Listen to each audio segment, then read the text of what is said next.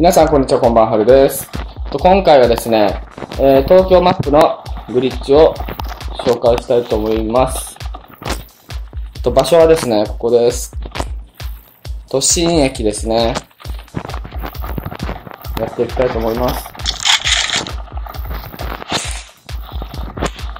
ちょっともしかしたらノイズが少し入ってるかもしれません。申し訳ないです。で、やり方なんですけども、えっと、かなり簡単です。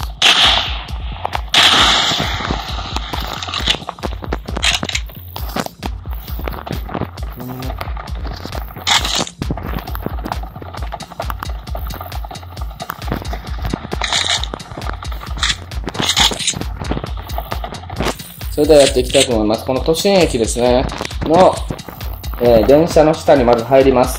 伏せるボタンを押して入っていきます。すると、こんな感じに、えー中に入ってるように一見思われるんですけども、ここでもう一回伏せるボタンを押すと、この地域では伏せられないという文字が出てくるのわかりますか？これ実はね、この電車の下に入ってるんですけど、なんだろう、この映像がバグみたいな感じで上に、えー乗ってるんですけども、立ち上がることができないですよね。これ下にいることになってるんですよ。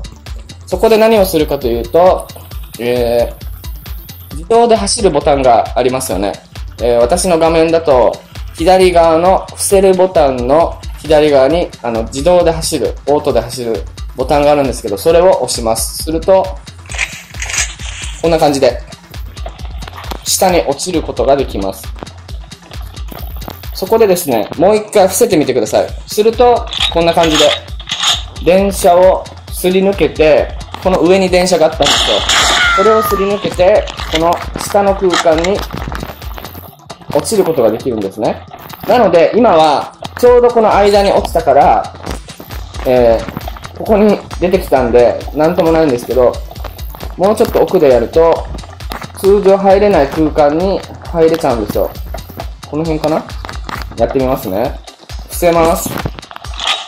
そして、中に入ったら、自動で走るボタンを押します。その後に、もう一回伏せます。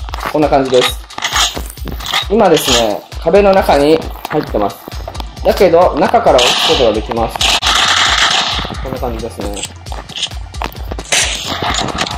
ちゃくちゃ簡単にできちゃいますね、これは。自動で走るボタンを押すだけで、外でも打つことができます。ですね。で、これがどこかというと、まあ、わかりやすいところで言うと、この辺でちょっと後ろ向きで見てみましょうか。もう完全にですね、壁を貫通するグリッジなんですよ。ほら。実際は壁があるんですよ。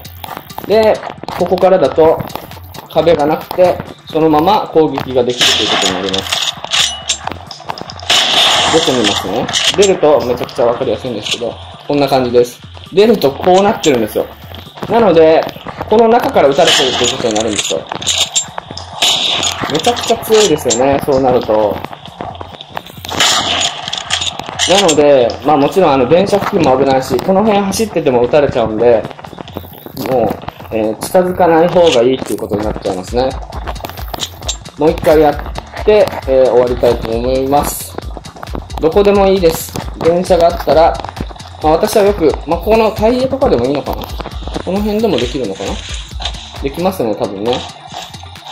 せて、そのまま中に入って、一回伏せるボタンを押して試してください。そして、この地域では伏せられないっていう文字が出たら成功してるので、えー自動で走るボタンを押します。すると、下に落ちることができるので、そのままもう一回伏せるだけです。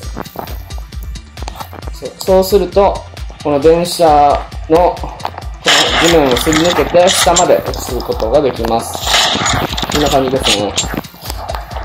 で、えー、まあこれもね、あの、やり方を完全に公開してるんですけども、これも、あの、運営さんに、えー、毎回やってるんですけども、あの、お問い合わせのところに、この動画の URL を貼って、えー、これを見て、修正してくださいというふうにいつもやってます。するとですね、まあ大体2週間以内では、もう毎回直してくれてるんですよ。これがですね、もう5回、6回、6回ぐらい、えー、このやり方で、まあ大体10日とか、それぐらいでは毎回直してくれてるので、まあこれを見てね、真似する人が多い、増えるだろうって批判する人もいるんですけど、まあ過去の何回もやった経験から、まあ10日ぐらいで直してくれるっていうのはもう毎回のことなんで、10日間だけ我慢すれば、今後このグリッチは使えなくなるので、えー、完全にやり方を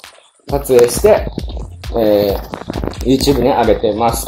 なので、もしね、あのー、結構批判のコメントとかも来るんですけど、実際本当に10日間ぐらいでこのグリッチが消えたら、絶対その方がいいと思うんですよ。3ヶ月、4ヶ月とか、何ヶ月もこのグリッチが修正されないよりかは、10日ぐらいで治る方が絶対にいいと思うので、えー、やってます。ということで今回は、ここですね。都心駅のグリッチの紹介でした。ご視聴ありがとうございます。チャンネル登録もよろしくお願いします。多分次の動画も、えー、グリッチの紹介になると思います。よろしくお願いします。ご視聴ありがとうございます。